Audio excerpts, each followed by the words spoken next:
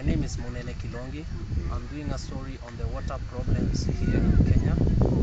More than 70% of people who go to hospitals here suffer from waterborne diseases, and more than 7.6%, nearly 7.6% of households here in the country have piped water.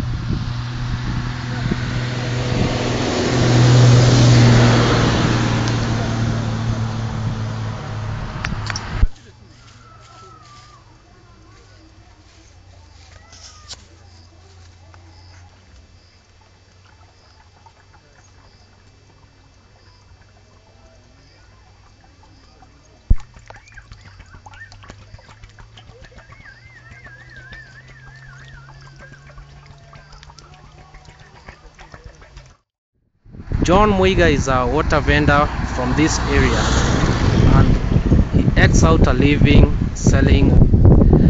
John sells uh, one bucket of water at 10 shillings a day. John, uh, I'd like to ask you how many trips do you make in a day?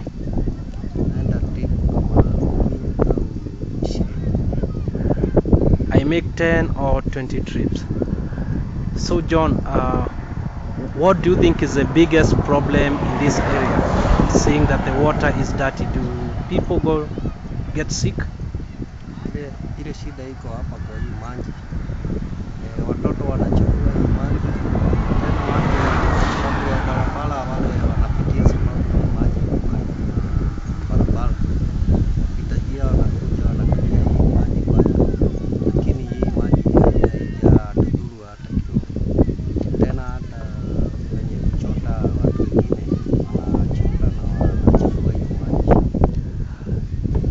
children make uh, the water dirty, and sometimes some of the pedestrians who pass by because it's near a road just come and uh, make the water dirty.